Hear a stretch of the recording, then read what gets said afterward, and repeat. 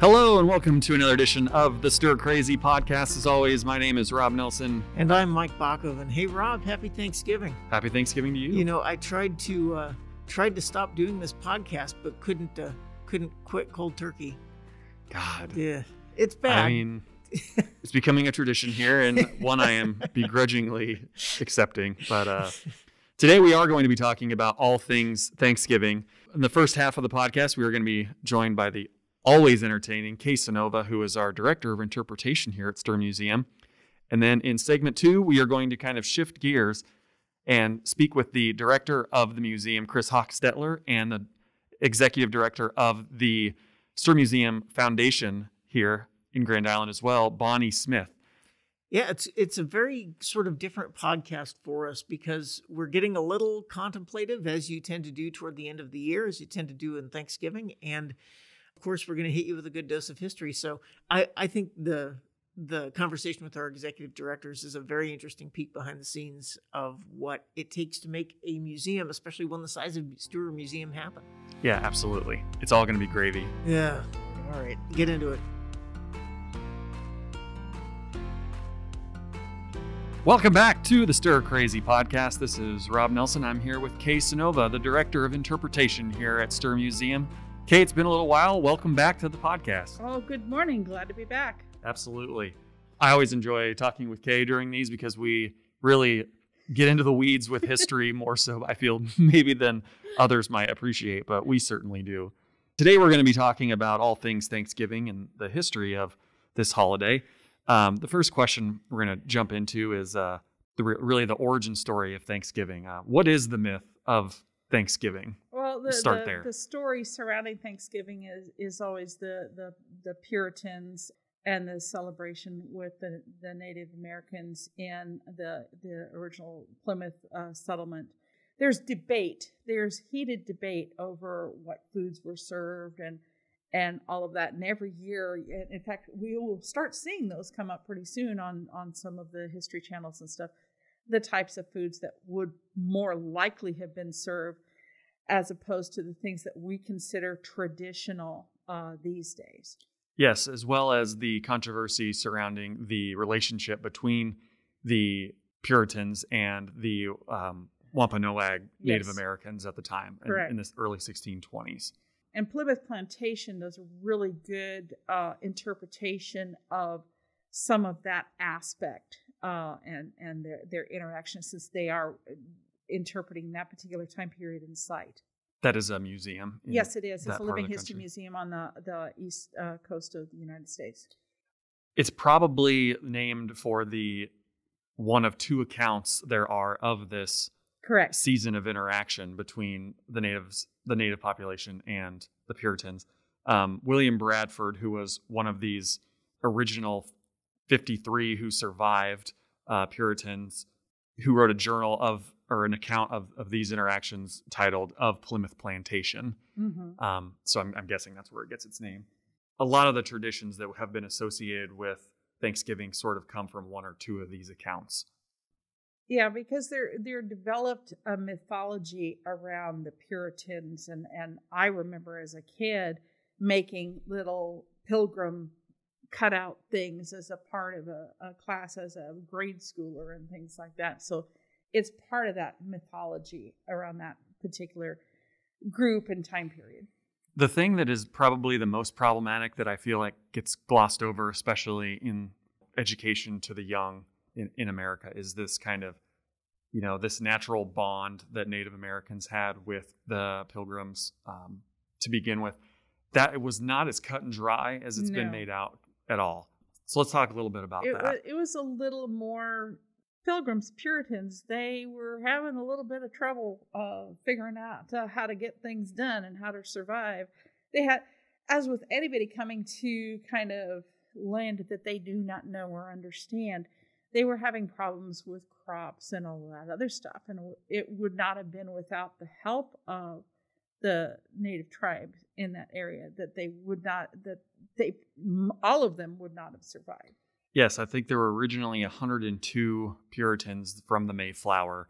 Of those that survived the first winter, were 53 in total, I believe. Yeah, so it was a hard hit. yeah, Another mis- common misconception is that I feel like that there that this was like a first contact scenario where natives had no knowledge of Europeans at this point, but they did. There actually had been about 100 years of 120 years of, you know, People European hit- and yeah. Native American interaction.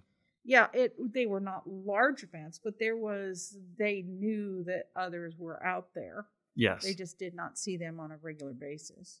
um, two from the Wampanoag tribe spoke English. So, I mean, right there, you can see that, Yeah, you know that they had to have some serious long term contact with somebody in order to be able to do that. yeah. And in the research that I found, it was more that for the Native Americans trying to reach out to the colonists wasn't so much out of the goodness of their hearts. It was more so to kind of build a political alliance with a group to kind of help them in their own political disputes with other Native American tribes. Yeah. Um, so it just gets into the more geopolitical Yeah. realm of conversation. Isn't that what it's always about? yeah, instead of this, you know, hi, how are you? Oh, we're really, Yeah, you we're know, gonna we're gonna be friends. e- exactly. Um, so that's always a, a thing I'd, I'd really like to to kind of hammer home. The term Thanksgiving itself, um, it has a, a lengthy history, and as do like these sort of feasts. What what was Thanksgiving in the 17th century, and what like what would people have understood that term as being? Well, I think that it was largely tied to the harvest, to a to a successful harvest. Yeah, Uh, if there, you know, there was always the the the period of time where you'd survive the winter, you plant your crops, and things are maybe not that plentiful, and then you have your harvest and a plentiful harvest, and you give thanks for the fact that you have this nice harvest that will hopefully carry you through winter. Originally, especially with settlement groups, they would pool their resources and try to make sure that everybody had enough and all that. But they they they gave thanks. It's like, yeah, hey, let's have a party because we got a lot of stuff right now. yeah, absolutely. thing. Did did did Thanksgiving also have like a like a meaning towards fasting and like a national day of not eating? Not national, but like prayer things associated with prayer and fasting, and not so much with food and uh, merriment, if you will. Well, Thanksgiving is was ba- it started out as basically an Eastern or an East Coast Eastern States type of thing. It it did not develop. It developed into a national thing much later. It was largely unknown in the South. It uh, just kind of evolved, and there was depending upon your religious orientation, there were different aspects of, of approaching this. There are uh, we have a photograph in our collection. This is going to be much later time period of a harvest uh, festival festival or harvest uh, kind of thanksgiving decoration in a church with all of these the the goods of the harvest are on display in this church and and so that's part of that that thanksgiving and um, even in the grand island paper in the 1880s they're talking about the church services associated with the um, Thanksgiving Day. So when did the the current form of Thanksgiving that you know Americans celebrate today? When did it sort of take on its it take on a structure that people would recognize? It started with a very long campaign by a lady who was the editor of Godey's magazine, Sarah Josepha Hale. And she had a, uh, a long period of time where she communicated with a number of presidents. It was five, I believe. It was. uh, in order to try to de- develop or to to make sure that we would have a national holiday of Thanksgiving.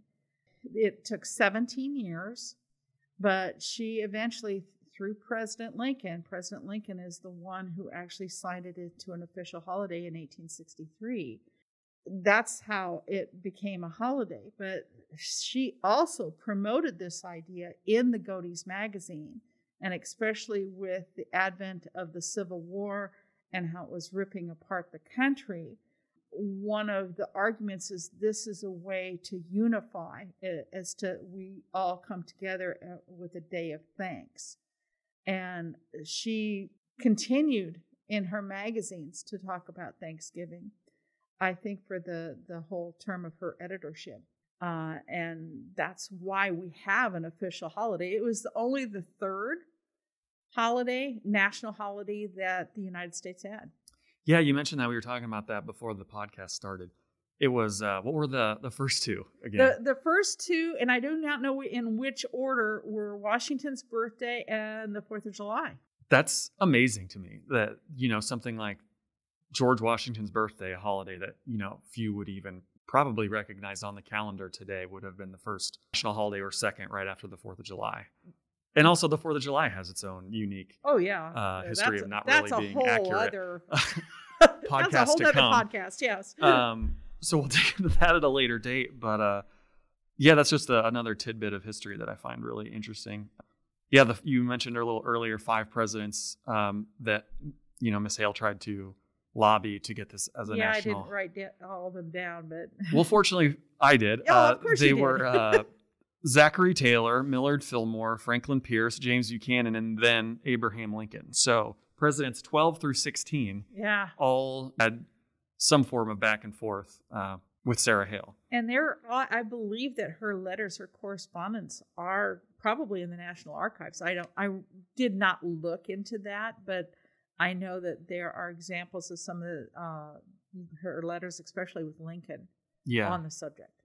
Sarah Josepha Hale has another impact on Thanksgiving and how we celebrate it, and it has to do with turkeys.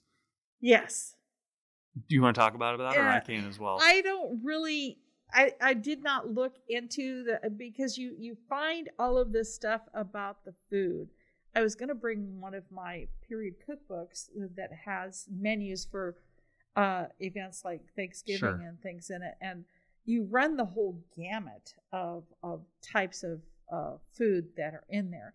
We know that that it was uh, Franklin who wanted to make the turkey the the national bird. Yeah, that's another tidbit of history. Yeah. Uh, there was some debate before we landed on the American bald eagle as our national bird. Benjamin Franklin floated the idea of it being the turkey, the, the Thanksgiving style well, turkey. just think about that for a minute. If that had been the national bird, we wouldn't be eating it for Thanksgiving. Yeah, there you go. What might have been.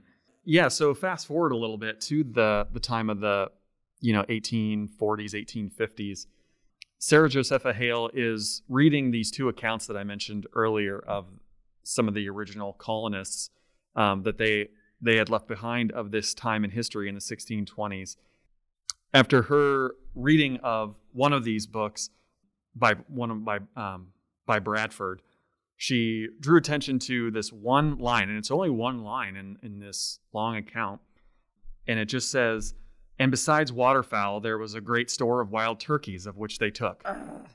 okay. And- and from, I'd forgotten about that. And from this one line, you know, and it goes on after that to say there were also many venison and other things and yada, yada, yada. But well, and in their examination of some of the foods that might have been there, there, uh, especially with their proximity to the coast, they probably would have had seafood as a part of this feast as well. Absolutely. Um, things that like, you know other historians on this topic have floated as probably being featured dishes at this first meal would have been mussels, lobsters, grapes, plums, corn, other Venison- vegetables like that. venison, Venison, as well. yeah, uh, other types of fowl because there would have been ducks and, and other birds around uh, uh, all over the place. much different than potentially what we imagine in our minds the first Thanksgiving. And I think Was. Plymouth and and I ha- I have to to correct Plymouth Plantation. They now have um, a, a new name. It's Plymouth, and I cannot remember the second part of it. I apologize for that. But they do some explorations with t- the food that would have possibly been eaten as a part of that um, uh, Thanksgiving. Gotcha. Well, let's uh, let's shift gears for a second and talk about um, something a little bit more close to home, and that's you know Thanksgiving in the Hall County region Yes. of Nebraska. Um, are there any special traditions that were unique to this part of the country with this holiday? I have not found anything uh, particular. By the time we get to the settlement uh, uh, of, um, uh, or the later period, uh, I was able to look at some of the 1880s newspapers. Well, actually, there was hundreds of hits that came up for Thanksgiving and, and looking for things, and, and I uh, was only kind of honed in on a couple of them.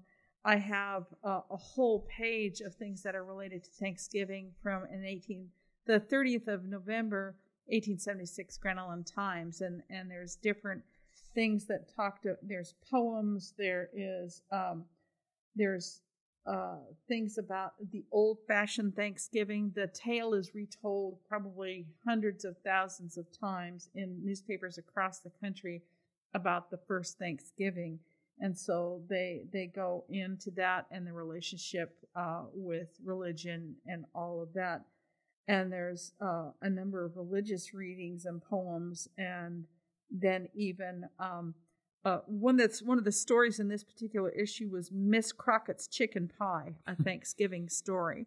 Uh, so I did not take the time to read it as it is very long, and I printed it out in very small print. Uh, in the 1880s, 1888.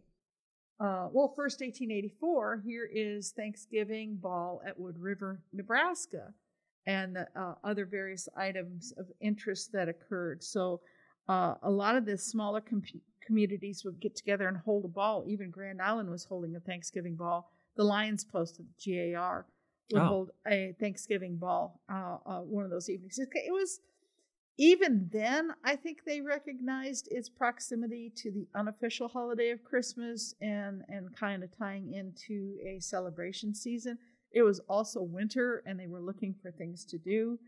But they they were talking in the Wood River paper about the party that got together and uh, the ladies and gentlemen that came from all of the surrounding communities to go to Wood River to this ball. Uh, and then in 1888, uh, it's I find it fascinating to to look at the advertisements in there.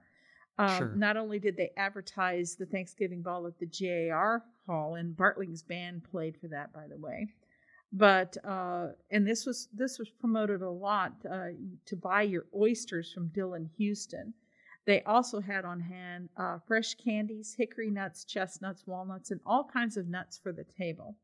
Don't forget the poor and needy at Thanksgiving. Uh, turkeys, chickens, um, uh, ducks, geese to be ha- uh, had dressed or alive by John Reese. And the annual Thanksgiving service uh, would be held at the Opera House. Uh, and this paper was dated the 29th of November in 1888. Uh, it also had what to eat on Thanksgiving. Thanksgiving breakfast, they recommended deviled oysters on toast, watercress salad, fried chicken, cream sauce, baked sweet potatoes, tomato omelet, and Malaga grapes. I do not know what that is. Then for dinner, they recommended stewed oysters. Oysters were very popular. Apparently. Broiled smelts. Uh, I don't even know what that is. Uh, smelt is a fish. Okay. Roiled, smelt. though. Bro- broiled. Yeah, broiled. Yeah, broiled smelt. Uh, and a sauce maître d'hôtel, uh, Parisian potatoes, squirrel pot pie. Great. Um, lobster style, uh, stewed cauliflower, roast turkey, cranberry sauce, celery, mayonnaise, fruit cake, uh, ladyfingers, pumpkin pie, mince pie, cheese, assorted nuts, and fruits. And then they had, um, uh, they always had these caricatures uh, in a lot of them about uh, usually a turkey in either an alive or dead state uh, on uh, some of the cartoons. Uh, and then the last one that I got from about the same time was the at the GA GAR hall. They were serving a Thanksgiving dinner. The meats included roast turkey, and these are the hot meats with cranberry sauce, chicken with sausage, cold boiled ham, roast beef. Breads were Boston brown bread, white bread, and buns. Vegetables included potatoes without jackets, oh. uh, squash, beans, cabbage, slaw, and celery. Dessert included plum pudding, mince, apple, and pumpkin pie. And the extras were cake, donuts, and apples, served with tea and coffee from 11 to 3 at the GAR Hall. Oysters, squirrels, and yeah. geese. I, oh my. yeah.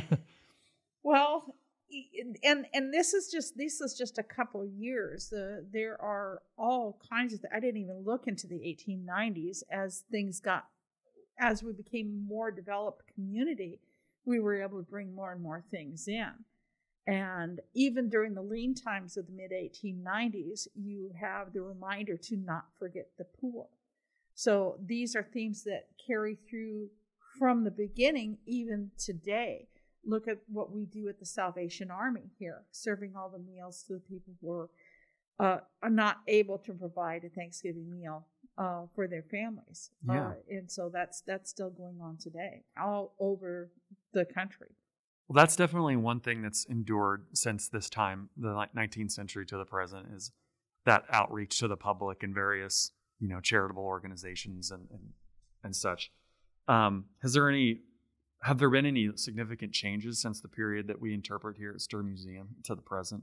The only thing I can think of is probably, you know, the unfortunately the commercialism that's Yeah. that's been associated I think it. that that's probably the biggest thing is the commercialization of it. It's not really. It's kind of like the skip over holiday yeah. that occurs. Oh, here's when Christmas season starts uh, with Thanksgiving, and so which I find very sad. I think Thanksgiving on its own, uh, it is a standalone. Uh, it's nice to, even if you want to ignore the whole misconceptions around the first Thanksgiving, it's nice to have a day that we um, can give thanks uh, for our family, our friends, for our fortunes, and to also remember the people who do not have as much as we have and try to always help them out as well. Absolutely. Um, the thing that I like about this podcast the most is just being able to to dive into these things. I, you know, the community that we have here at Stuhr Museum has an interest in them, and I I feel like I found my own little work family of people who appreciate these little tidbits and insights into history, especially events like Thanksgiving. You know, it's not just a date on the calendar where you get some food. There's been countless individuals involved in you know making this holiday what it is and it's changed and it's it's been one thing and it's been something completely different in another community and those are the sorts of stories that I like to highlight. Yeah, that, that and that's how it originally started out. There was no one set day for some of the you know in the eastern states. Each state kind of had their own day that was kind of like an, an unofficial Thanksgiving day, uh, and it wasn't until it became an official holiday that it was designated. And of course, there's the there's the jumping around of Thanksgiving on the calendar too that happened until it was always determined to be at this specific uh, Yeah. Thursday. and even the original Thanksgiving in quotation marks in 1621, we have no idea when it was. It was Exactly. sometime between late September and late November. yeah, you know, it, was just it was probably a give thanks for harvest, and that's all they viewed it as. You know, uh, hindsight being twenty twenty, you tend to write about things and kind of uh, um, look fondly. Uh, you know, maybe not remembering all the necessarily poor things, but just remembering all the the good stuff and writing about that. And uh, um, that's one of the things that that gets carried forward. Absolutely. Well, we will leave it there. We're going to take a break. And when we come back, we're going to be talking with Chris, Chris Hochstetler, rather, and Bonnie Smith. So stick with us, and we'll be back after these words. Today's podcast is brought to you by Nebraska Midlands Railroad.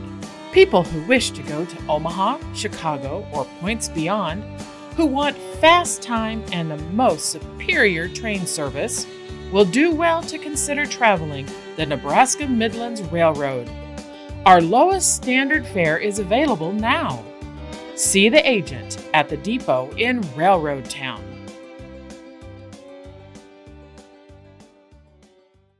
Welcome back to another episode of the Stuhr Crazy podcast.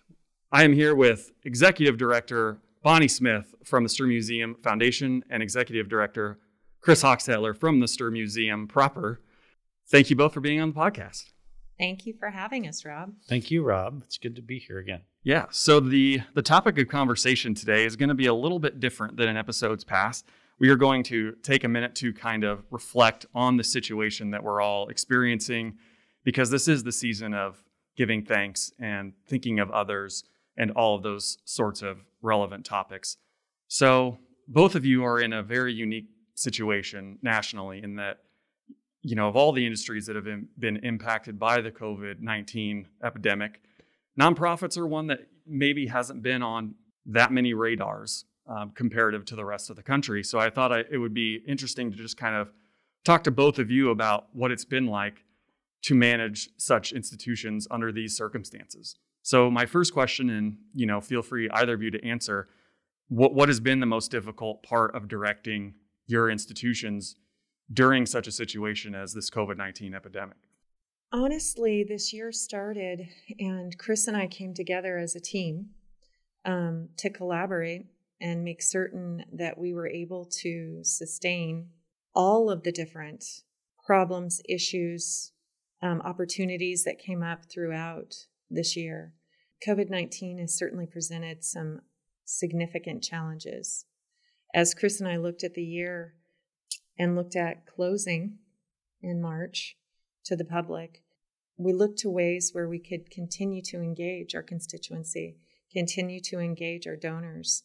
Um, Chris has done a phenomenal job coming on board in February, hitting the ground running, um, having to close the the museum. Um, it was heartbreaking for all of us. But really, what what I've seen as um, maybe one of our opportunities is that really Chris and I have worked together throughout. We've been open, we've been honest, and um, and we've had some incredible team members working alongside us, um, incredible donors, incredible board members, um, making certain that we're riding the ship.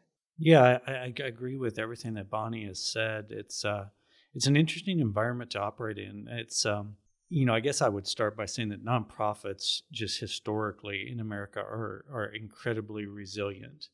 They just have been. Uh, you know, you go back in in history, if we can do that here on the Stuhr Crazy podcast. And, Absolutely welcome. And and kind of peel back what de Tocqueville said about America in general was really, in my mind, the bedrock of of nonprofit history here in this in in this country, and that was paraphrasing that he he found it curious that Americans from all walks of life would come together, and they would come together and form groups that would solve social issues in communities, and he he found that to be very curious. Well, if you peel that back a little bit, that's what nonprofits do. We come together, we provide services, we we deal with social issues, economic issues, and that's why it's become such a strong sector, a str- uh, an essential sector in America and how America actually functions. And I think that is decidedly American, and it's been very resilient through the years, through any number of catastrophes and situations and wars and now pandemics as well. Uh, and it's stayed strong to that. But what I've found particularly difficult, I guess, uh, through this is, you know, the pursuit of staying relevant as a museum because we're a place that's based on interaction solely. I mean, that's what our purpose is is is to interact with people. And when you when we entered into this pandemic, you know, as a team together and and and to Bonnie's point, we sat down and said, well, what's going to happen when we have to close to the public, you know? We knew that we had to do something that that would keep that relevancy and that engagement with people. And so the staff and, and board really responded well. Boards, uh, the two organizations' boards responded well and really embarked on what I think is a pretty robust adventure of creating virtual opportunities as well as safe opportunities on the campus here for people to actually come to once we could get open. Yeah. But it's been challenging. It's been difficult. There's no question. Absolutely. And, you know, both of you kind of I think spoke a little bit to what my next question is. Um, just to kind of give it a little context, the American Alliance of, of Museums, um, a part of Stuhr Museum, which is a, a, part of, conducted a survey of 760 U.S. museums and found that upwards of a, a full third of them were either at risk or significantly at risk of shutting permanently as a result of the pandemic.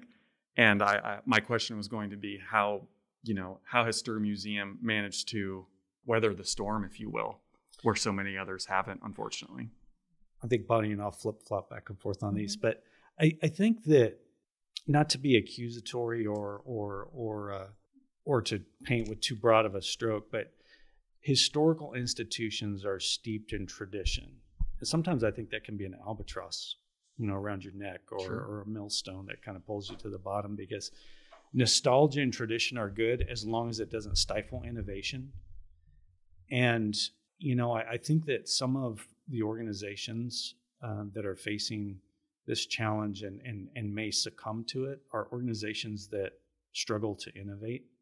You know, when you're faced with such a thing like a pandemic, it's like you have to innovate, else you will succumb to it. And historical institutions are per- particularly susceptible to that because we're rooted in living in the past. Yeah. My contention is that that roots in the past is only as relevant as you can make it to functions now as well as in the future. There has to be a through line story in everything that we do that keeps us forward looking, that is not just a passive experience where you reflect on the past and say, okay, well, this happened. The Spanish flu happened in 1918. Well, what are the lessons from the Spanish flu? And how can they be applied today? And how can they be applied for the future pandemics that we will face? And I think that Stuhr Museum has one of the reasons Stuhr Museum has weathered this well is that there was a, a, a, a true willingness to innovate when I came in February and I met with uh, you know met with Bonnie for not the first time we we'd been friends before I got here, but there was a willingness to sit down and ask hard questions of each other and say how can we innovate our way through this. And to this point, I think we've done a pretty fair job of that. I agree completely with what Chris has said.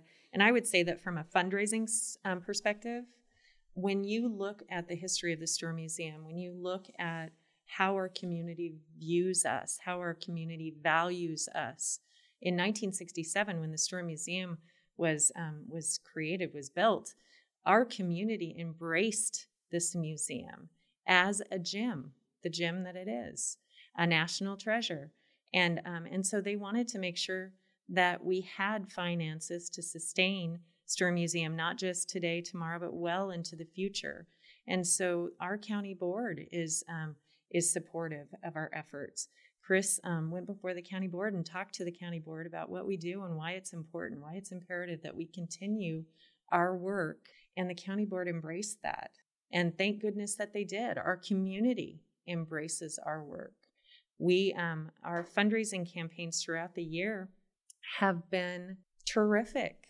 We've had the support of the community because they know that what we do is important, because they know that sharing our collective history, sharing and preserving who we are um, and who we've been and where we've been um, is absolutely important.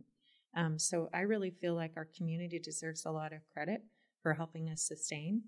Um, and by that community, I mean not just the community members in the four county area, but also across the nation. We have donors that will come to Stuhr Museum, they'll visit, and they'll become lifelong patrons. We're incredibly thankful for that. And this is the season of giving. Um, the, the next question I, I have for both of you is if is there anything that you would encourage members of the community wherever they are wherever they might be listening to uh, to do in order to help some of these institutions who are struggling, especially during this time. It looks like we're maybe on the horizon of a different year in 2021, thankfully, but it's still going to be quite a bit of time yet before we get back to any level of normalcy. So, would you encourage members of the public to do anything um, other than what they've been doing so far? We have a fantastic community of nonprofit organizations who collaborates more than anywhere I've seen in the United States. These nonprofit organizations are working incredibly hard day and night to make sure that individuals are provided just basic needs. Um, they're making sure that they have food. They are making sure that they have shelter. They're making sure that they have a toy under the tree for Christmas. I would encourage anyone to reach out to one of our fine nonprofits sure. and ask how they can help. It doesn't have to be a monetary gift. Our nonprofits are needing volunteers now more than ever. So I would encourage absolutely every individual to look and see how they can make a difference because absolutely every single person can make a difference in some way. I, I sometimes I try to imagine a world without nonprofits. Yeah and it's hard to imagine us as a country without a nonprofit. I mean, just peel that onion back and, and look and see how much nonprofits do for our community and for our country, just the healthcare system by itself. All of the hospitals that we receive care at, a, a good majority of them are nonprofit based hospitals. They are. I mean, they're they're institutions that are ran by faith-based organizations, Methodist. That's why it's got a, a, Methodist connected to it. There's Catholic hospital systems across this country that are all based in in nonprofit uh, status. And if you if you remove those institutions like Stuhr Museum, or you remove the American Lung Association or the Cancer Society, or any of these organizations that do this incredible work, you remove key infrastructure from our country that provides so many services for what we do. And once again, it goes back to what de Tocqueville said. You know, then then who's left to handle those issues? Well, the government is the only one that's left to handle those issues. So in essence, you remove that power of charting your own course from the people and you imbue it in the government only. And that would be the, ch- the course that we would be on if we could imagine a world without nonprofits. Well, what you said earlier is very true, Robb. And I know you quoted um, something from the American Alliance of Museums uh, that that said, um, you know, a third, nearly a third of museums could close because of the pandemic. Well, it's not just museums; it's it's also the entire nonprofit sector is yes. facing that. So what I would encourage members of the public to do is to, you know, find find those organizations that you find to be valuable and invest in them, not just with your with your dollars. So that's important and every single gift counts. It really does. If you can skip a cup of coffee on the way to work or you know something like that and, and give that to a nonprofit, it makes a difference. Trust me, it, it does. It makes a huge difference.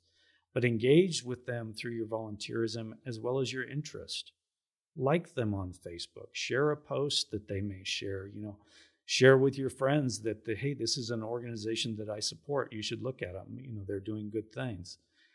These are things that mean the world to organizations that are really trying to make a difference in the community and make a huge difference in the community and the country. So I would ask members of the public to do just that. Absolutely. I appreciate, you know, your candor of of both of you. It's not an easy thing to talk about. And I think everyone's been a little bit COVID fatigued at this time, you know, and that's just the reality of human nature, unfortunately.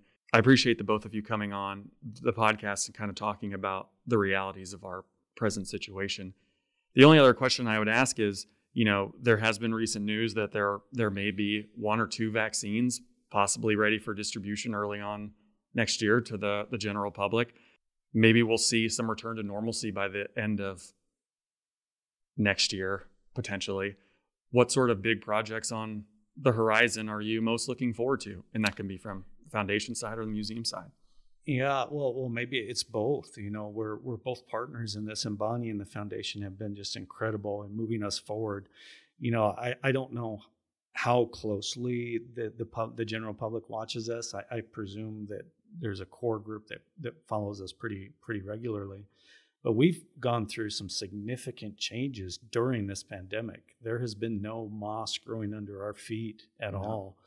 Uh, when you look at this campus, you can actually see the physical changes from buildings being moved on this campus to some things that people may not see. We've undergone a, a, a conversion of our entire campus wide database to put us on one system, including the foundation, so that we can gain efficiencies in revenue generation and you know, changing the visitor experience here on the campus to even just you know monitoring certain things that happen here and we're, we're going to be unveiling a, a new website uh, there will also be a new look and feel to Stuhr Museum. That's something that Bonnie and I worked very closely together on. And all of those really portend a dynamic shift and a change in how, how we interact with the public. And what is our purpose here at Stuhr Museum? It's a very active purpose. It's a very joyful, it's a very immersive process. This is not a place where you come to see things. This is a place where you come to do things and Absolutely. experience things. And we we are going to lead with that. And it is going to decidedly change a visitor's experience on this campus. So I'm most looking forward to post pandemic, what that looks like in people's faces when they come here and they experience this profound change that has actually been happening during a pandemic. So I, I guess that is what I would probably be the most excited about. I've been thrilled with the changes that we've been able to implement, with the updates that we've been able to see through during this time that could have been devastating for us.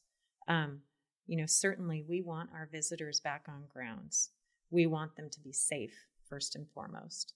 So as we all do our part in um, in curtailing the the pandemic and the spread, um, you know, we we are looking forward to an amazing 2021 where we're able to bring our farm to table back. Our farm to table dinner that the first year we um, we facilitated it um, sold out the month before we had it. We held it. Um, so the foundation is looking forward to seeing people. We're, we're looking forward to engaging with people, connecting with people um, mm-hmm. on a one-on-one basis. But certainly, we're we're most excited about showing off all of the work that our talented teams have been doing during this time. Whether it's the uh, technology that put us in perfect alignment for pulling the trigger on our virtual programming including the podcast that we're doing today. Absolutely. Um, or whether it's the many things that Chris mentioned um, that we've worked on together. Um, we're excited to show you that we have a new store in store. Well, we spoke on the uh, on the museum side of things.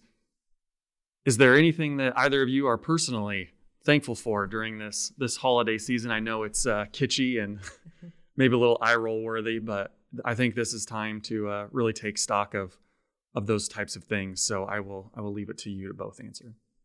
I think that's a terrific question. I don't think it's kitschy at all. um, I've actually spent a considerable amount of time thinking about all of the ways that I'm thankful and grateful. Um, I am thankful for collaboration. Um, I'm thankful for Chris. I'm thankful that we're able to um, move mountains together. I am thankful for our Heartland community and their incredible generosity that allows us to keep doing our work. Um, I'm incredibly thankful to our healthcare workers and front on the front lines as well as the leaders and administrators. My niece is um, is a PA and she works in the COVID clinic. I'm thankful for her. I'm thankful that every day she goes to work, she has to don um, an N95 mask and um, and all of this paraphernalia that's so incredibly uncomfortable that she doesn't eat all day or drink all day, but she cares for individuals who need her help. I am also um, thankful for our nonprofits. I mentioned that earlier. I'm incredibly thankful to the Stuhr Museum and Foundation team and boards.